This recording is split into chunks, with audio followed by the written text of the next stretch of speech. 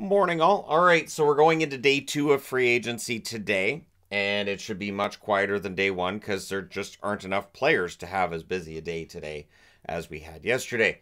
Uh, but there's been a minor trade as well, so I'll start with that. The San Jose Sharks acquiring uh, RFA defenseman Leon Gawanke from the Winnipeg Jets, going the other way, Artemi Kniazev. Uh, so we'll see how things go with that deal because both, again, young defensemen and uh, we'll see who comes out ahead in that one, probably years down the road.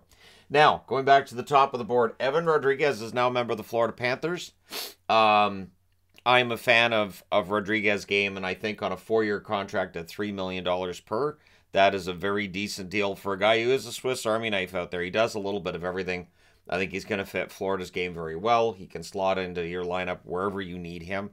Uh, he can fill in in the top six here and there. Uh, he's also a very solid bottom six forward. So uh, at that cap hit, that's a very good deal.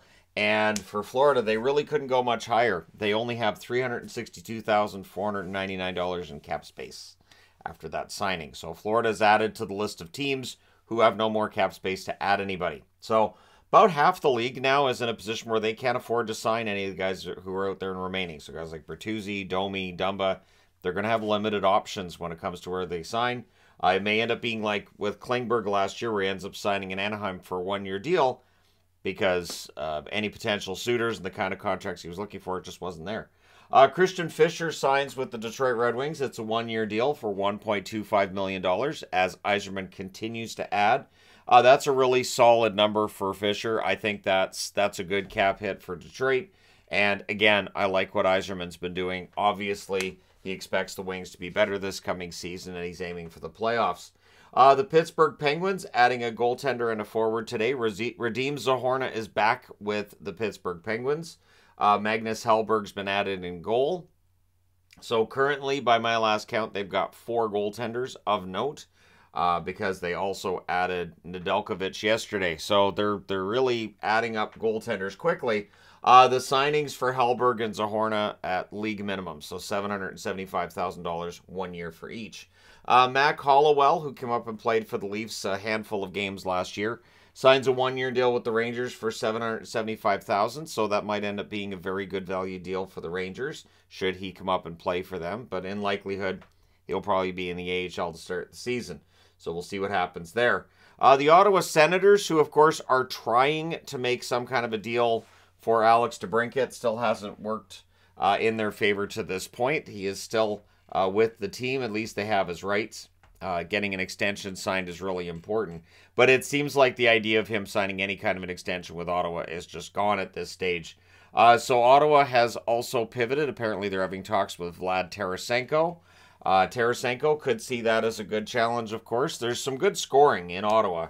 And this is a team that should be able to score a bunch of goals this coming season might help Tarasenko out. Maybe he signs a one year deal there and then goes somewhere else next year or has a really good year and signs an extension shortly thereafter. Uh, so yesterday was a very busy day by CapFriendly standards, and again, CapFriendly tracks back to 2016. Uh, it was one of the busiest first days of free agency 166 contracts.